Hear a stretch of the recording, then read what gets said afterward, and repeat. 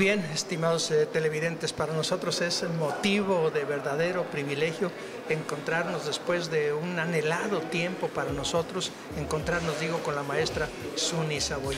Y digo que anhelado porque, pues, años de estar diciendo queremos una entrevista con ella y queremos una entrevista con ella, bueno, ahora se nos concede el privilegio. Una maestra que entre todas, entre tantas cosas y entre tantos méritos, pues podemos decir que lo aprendió todo, lo conoció todo, lo arriesgó todo, lo creó todo, conoció todo el mundo, indagó, investigó todo lo que es la danza contemporánea. Una artista total, diría yo, si no es que el ser un artista total parece ser que ha llegado a su totalidad.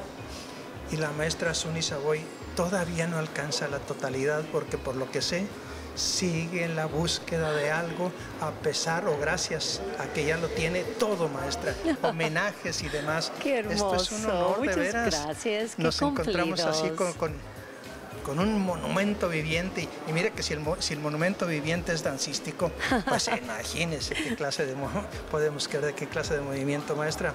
De veras que es un honor tenerla con Muchas nosotros. gracias, eh, veras, muchas gracias maestra, por sí. la invitación y es un honor para mí también. Muchas gracias, estar maestra. aquí. Maestra, y ya pues para entrar en materia quisiera preguntarle esto. Usted que ha recorrido toda la, la- la danza eh, contemporánea, de cuando empezó usted en, en esto de la danza, ¿cuántos años hablamos ya? Ah, uf, me, me brincaste. Ah, su- El siguiente año voy a tener Voy a 40, cumplir 40 años, de mi primera obra. Yo cuento mi trayectoria de mi primera obra presentado en el teatro. ¿La recuerda? Sí, claro, se llama Color- Colores. Colores. Ajá. Ah, Lo de colores, la- ¿eso fue aquí en México? No, fue en Austin, Texas. Ah, en Austin, Texas. Donde estaba estudiando la licenciatura en danza contemporánea. Perdón por la pregunta, pero es, así, basta. De, de aquel entonces a lo que es ahora la danza contemporánea, Ajá. pues prácticamente como todo el mundo ha recorrido un, un- un- un mundo, perdóname, pleonasmo. Pues claro. ¿Cuáles son los movimientos más importantes que advierte usted de aquellos primeros colores donde Ajá. usted inició con la danza a ahora, al tiempo actual? Ay, es difícil. Yo creo que puedes decir que lo que siempre se queda en toda la evolución de la danza es esta búsqueda de conocer a ti mismo todos los días y de mantener la curiosidad de, de seguir buscándote en este mundo, porque el mundo va cambiando. Eh, nuestra economía, nuestro ambiente social, todos los problemas alrededor de nosotros va cambiando y yo creo que en la danza contemporánea va evolucionando, encontrando otra vez también a- su arte en medio de este cambio. Am, más que movimientos es de conocer a tu propio cuerpo Ah, y relacionar con los cuerpos demás para entender quién eres y qué quieres decir. Y esto no cambia. Ese no cambia, maestra. En otros aspectos del arte, que quiero hacer una suerte de paralelo. Bueno, todo parte, según dicen los que saben, lo dice Juan José Arriola, en el caso de la literatura, de la narrativa. Todo es narrativa, todo es contar y contar y contar, en el caso de la palabra y del lenguaje. Desde que el lenguaje lo es, bueno, van cambiando las palabras, va cambiando, y, y va cambiando el cine, van cambiando los lenguajes. El caso de la danza contemporánea, el génesis, Ajá. ¿usted lo ubicaría en el propio nacimiento del, del- del hombre? Desde que nace el hombre, ¿ya están los gérmenes de lo que después sería la danza contemporánea o para nada? No, sí, claro que sí. A lo mejor no lo supimos encontrarlo Ah, por tanta estética alrededor de la danza. ah. Porque a veces tienes otros objetivos, otros, en la danza pasó por muchas etapas. Yo creo que actualmente la danza está en una búsqueda de, como siempre en arte contemporánea, de encontrar una nueva reestructuración de lo que hemos encontrado.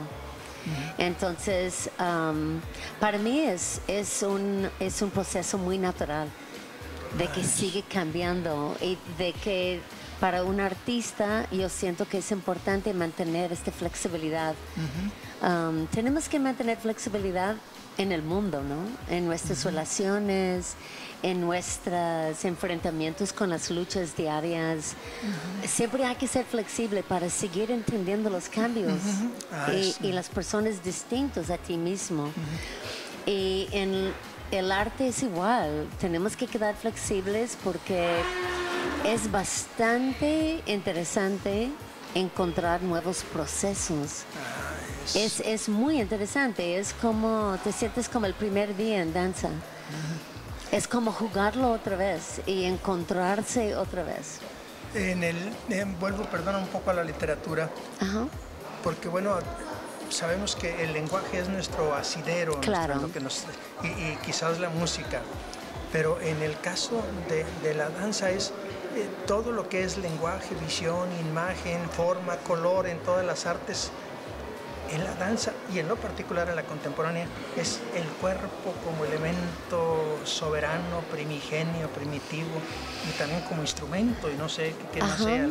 ¿Cuál es su concepción de, de- Pues sí, eh, todo viene desde el cuerpo, pero creo que tiene mucho que ver con la relación entre el cuerpo y su ambiente próximo.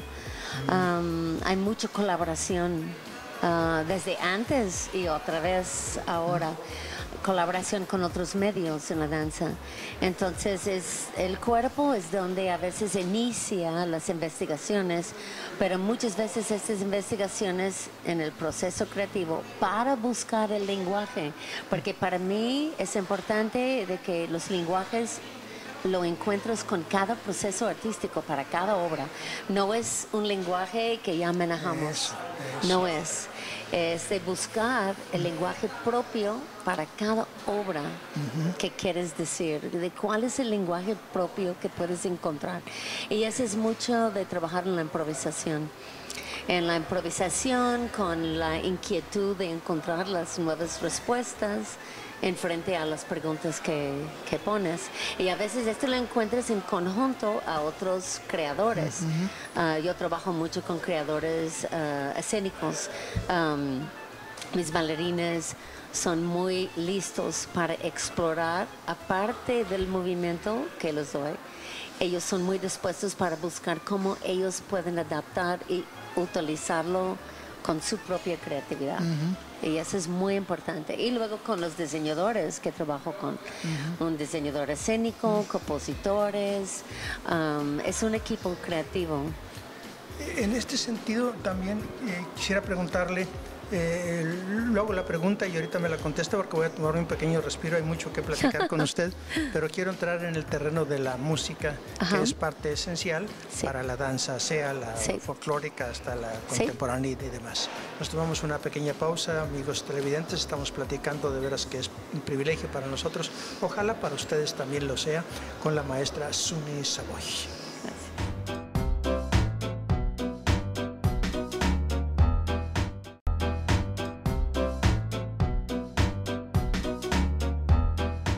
Eh, maestra, uno de los elementos fundamentales de la danza, no descubro nada nuevo, es eh, la música.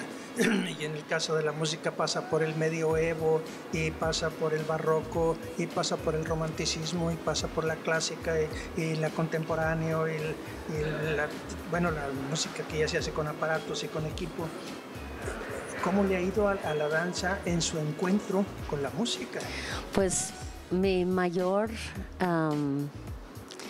¿cómo puedo decir? Disfruto muchísimo la colaboración. Para mí, cuando tengo la oportunidad de empezar un proyecto con un compositor, es un lujo. ¿Por qué? Porque los dos estamos en un proceso juntos y el proyecto puede entonces tener otras posibilidades. Uno como creador tienes unas ideas a dónde va a ir un proyecto, ¿no? Pero otra vez te habla de la flexibilidad. Cuando empiezas a colaborar con otros, este proyecto puede empezar a ir por otros ah, caminos. Y a veces es, es impactante lo que puedes encontrar en conjunto, en la colaboración. La música para mí es hasta el silencio. Amo el silencio. Ah, siento que el silencio es algo muy importante am, y lo utiliza bastante también en, en- con los compositores. Am, yo creo que un acercamiento del uso de silencio, te puedes entender más la danza también. Los dos artes se desarrollan en el espacio. Entonces, los dos artes, el- la música viaja en el espacio, ¿no? Claro, Y la sí. danza viaja en el espacio Claro, y los sí. dos viajan durante el tiempo. Entonces, realmente es una relación bastante interesante. um, y ha disfrutado y ha tenido una suerte enorme de trabajar con muchos compositores, con mucho talento. Eh, si la danza contemporánea en sí misma se me ocurre que es un riesgo en este tiempo actual donde de pronto eh, el, el público, el grosso público que está con los medios comerciales, con la Sí. civilización del espectáculo, que se come todo, y me refiero al espectáculo comercial. Sí. Entonces, ¿cómo hacerle para este? A mí me parece la danza contemporánea como el arte abstracto sumo. Y, y estoy colocándolo por encima de pronto del Picasso y estoy pensando de lo que es la pintura, Ajá. porque bueno, es con el color y pareciera ser que mal o bien hay una tradición que ahí se va llenando y todo. En el caso de la danza, y luego usted está citando ahorita el silencio, está citando la improvisación, Ajá. está citando el trabajo con el compositor, que todos estos serían limitas, limitantes sobre los cuales tiene que elaborar la, la danza. La aleja esto del público. ¿Cómo le hacen ustedes para contemplar su quehacer, que a fin de cuentas es para el público? Sí, es, es una lucha bastante. Yo creo que es de tener paciencia en primer lugar, porque el arte más comercial, más ah, fácil de dirigir, am, claro, puedo empezar a tener un impacto, entonces el espectador ya no tiene la capacidad de ver. Porque Es. está ya entrenado de recibir respuestas rápidas y fáciles, como algunas películas. Eso es. eso es. Entonces, am, es importante que en- seguimos en la lucha de llevar la danza contemporánea a todos los espacios posibles, no solamente al teatro. Am, y también, ah, bueno, tenemos en personal unos proyectos muy especiales en la compañía. Es un proyecto que se llama Enlace. A ver, Es un proyecto sí. donde invitamos la comunidad diverso, de todo edades, de todo profesiones, a tomar un taller con la compañía para acercar la temática de la obra que acabamos de estrenar. Y lo que hacemos es trabajamos la temática con ellos y permitimos a ellos hacer su propia construcción de la obra. Ah. Es un proyecto muy bello porque permite a estas personas que tomaron el taller de empezar a entender las construcciones y diferentes procesos um, en la danza contemporánea. Lo importante de la danza contemporánea es que hay tantas tendencias. Entonces es tan importante también que el público va dando cuenta de que hay muchas opciones. No es como un género que tú sabes lo que debes de recibir, como el ballet clásico. Claro. Ahí sí sabes a lo que vas. Por ¿no? supuesto, sí, en sí. danza contemporánea dependes en el artista y dependes en su búsqueda. ¿no? Y eso es bello. Es igual que en arte contemporánea. En arte contemporánea um, te vas al museo y sabes del artista y vas a estar estudiando y buscando cuál es su inquietud, ¿no? ¿Qué relación le encuentra usted con el jazz? Porque usted ha mencionado, me- y me llamó mucho la atención porque me, me salta, eh, me estoy asomando a su mundo al que respeto y admiro. La improvisación, usted habla mucho, Sí. mucho de la improvisación. Entonces, el, el jazz también es improvisación, Ajá. por decir algo. Y, y- y- y la, la danza contemporánea Sí, trabaja mucho, de- de- mucho. De, la mano, de la mano del- del jazz. Entre la improvisación y la creación y todo lo demás, ¿qué clase de, ser, de bailarín se está creando? Donde tiene que estar buscando los fundamentos, las ideas, todo, pero también desde la improvisación. Un bailarín vivo. Vivo, sensible. También poco a poco los bailarines van adquiriendo seguridad para explorar sobre de sus propios intereses. Es que yo creo que en los tiempos pasados la relación entre coreógrafos y bailarines ah, y no quiero decir eso porque siempre puedes encontrar un caso en contrario, pero en la mayoría de casos, la relación entre el coreógrafo o director del proceso creativo y los bailarines era más, quiero que te haces eso. Ah. a través de los años, que bueno, fue cambiando. Y, yo creo que siempre fue cambiando, porque los bailarines de todas maneras siempre eran artistas increíbles en escena y siempre cambiaban. Ah. a lo mejor es cambiar nada más con su esencia, con su, su manera de ver, su manera de voltear, su manera de dar tu mano. Es, es algo muy sencillo, pero hoy en día es mucho más normal que todos tienen la habilidad de improvisar. Improvisar no solamente em, por el gusto, porque improvisar es una técnica que te ayuda a ser más sensible, su cuerpo con otros cuerpos, con el espacio, de tener una curiosidad de cosas que ya vemos como demasiado sencillos y son muy importantes. Entonces, pero también en la improvisación casi siempre yo lo utilizo en los procesos creativos para encontrar a dónde voy y también para estructurar la obra. Es improvisación con estructura. ¿no? Y es de practicar muchas cosas, aceleración en tiempo, de ir abstrayendo el movimiento hasta que no parece, de ir destruyendo para reconstruir son procesos muy intensos y muy ricos de, presenciar. Me tomo otro respiro, maestro, por favor, porque queda, es inabarcable para ustedes. Ojalá y lo sea así en el buen sentido del término, estimados televidentes. Continuamos.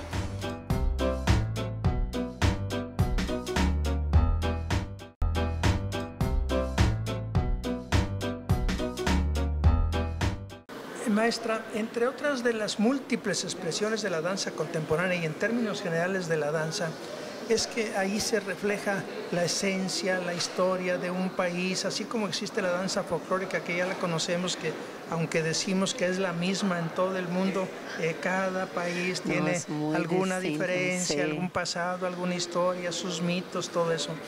En el caso de, la música eh, contemporánea, podemos afirmar no sé, yo estoy, de pronto pensé en, Rosaura Revueltas, en algunas de las antiguas maestras de, danza de nuestro país. Existe una danza contemporánea mexicana con algunas características y si le existe, ¿cuáles, eh, ¿cuáles son en términos generales si existe la bailarina contemporánea? Pues creo que depende de las temáticas, porque yo sí he hecho unas obras con temáticas mexicanas. en donde sí utilicé música mexicana, antiguito, también unas canciones populares. siempre cuando tú vas utilizando música, eh, dependes en la temática, ¿no? Dependes en lo que necesites para expresar la idea. Yo no veo ningún límite a ningún género de música en el teatro con danza contemporánea, a ninguno. Mm. hasta lo que sea, hasta lo que sea, ¿no? de, música, dependes en, dependes en su razón y dependes en cómo vas a construir y si y qué vas a decir con ello, porque hay que tener cuidado también, porque de utilizar composiciones de otro compositor es una responsabilidad. Hay que respetar y hay que entender por qué lo hizo y, y cuándo lo hizo, ah, con qué razones, y luego entender su relación con esta identidad, especialmente si es distinto a la tuya. ¿De qué le sirve al danzarín, al bailarín? para el desarrollo de su vida, para subirse al autobús, para conseguir trabajo y para pagar los impuestos y ir a pagar el teléfono, el ejercicio de la danza? Oh, qué bonita pregunta, porque este realmente es lo que yo digo a mis alumnos todos los días, ¿no? Tienes que saber por qué te levantas en la mañana. Tienes que recordar cada mañana por qué te levantas, porque cada mañana es distinto. Y tienes que preguntarte por qué voy al salón otra vez. Es todos los días. Es una vida que podríamos decir muy monótono. Sí. Entonces, el labor es de serlo nuevo cada día. Y no solamente con una visión romántica, es de realmente preguntar cómo estoy, quién soy, dónde voy. Y incorporar eso, el cuerpo no se puede entrenar nada más pensando en sus músculos, esqueleto, sistema nervioso que necesitamos todo. El manera de entrenar es con el espíritu, el mente y el cuerpo. El alma, la alma, es, es todo es integrado, entonces tiene que estar juntos. Entonces no hay beneficio si el alumno llega o cualquier bailarín empieza a entrenar nada más para objetivos que no te van a servir. A lo mejor te sirve para ver bien, pero Espero. este realmente no es lo que buscamos. Buscamos estar bien en el alma, en el espíritu, de dónde vamos. Y eso es lo, lo que da la danza que casi no da ningún otro arte. Lo da esta conexión entre tu cuerpo, tu espíritu y tu alma. Eh, alguien- de alguien he escuchado bueno que afirma que a más cuerpo, más espíritu.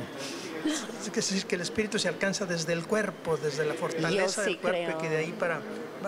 eh, ¿Se aplicaría esto a la danza? Claro, totalmente. Yo creo que eso es porque hoy en día hay tanta, en todos lados ya hay meditación, hay yoga.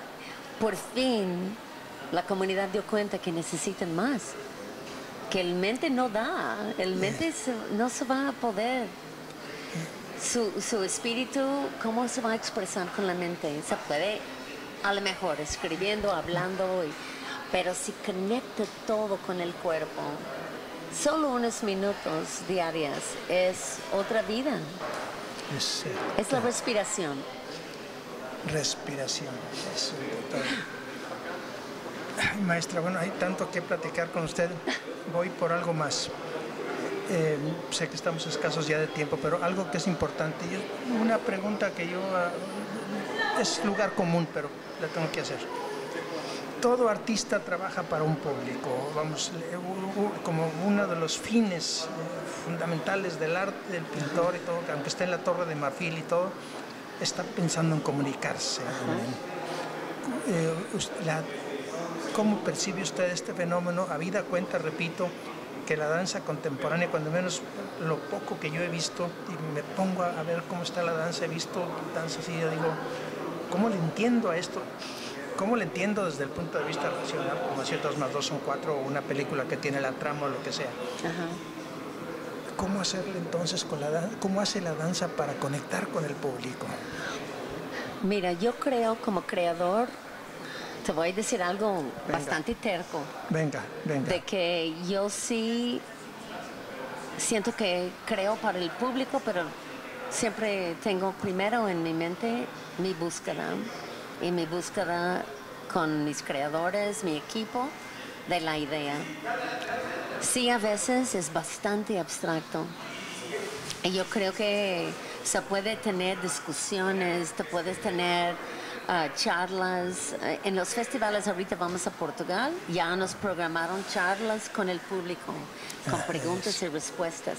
Cuando tú vas a ver la ópera, casi siempre hay una discusión previa. Sí, Entonces, es que creo que la gente debe de empezar a acostumbrar de formar sus preguntas y poder tener respuestas con los artistas, porque no veo nada mal en la confusión.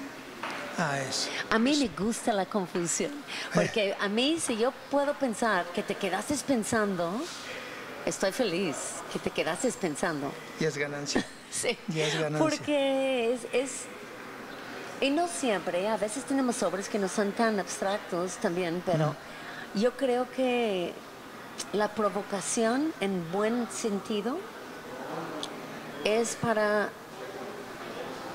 darte un camino de pensamiento y reflexión en el caso que quieres.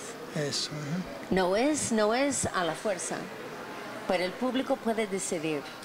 ¿Estoy interesado en esto? Quiero preguntar y investigar de, qué está pasando. O, ¿sabes que Ni estoy... Tiene- tienen la posibilidad de... Es como cuando caminas en el museo. Tú puedes pararte enfrente de un cuadro. O algunos cuadros dices no y te sigues caminando. Mm, Claro, claro. Es sí. lo mismo, Es lo mismo.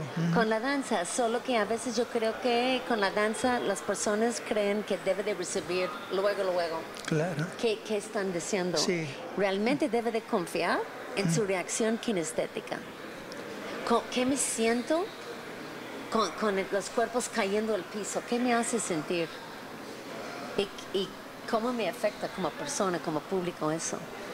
Y, y permitir que este te provoque unas preguntas.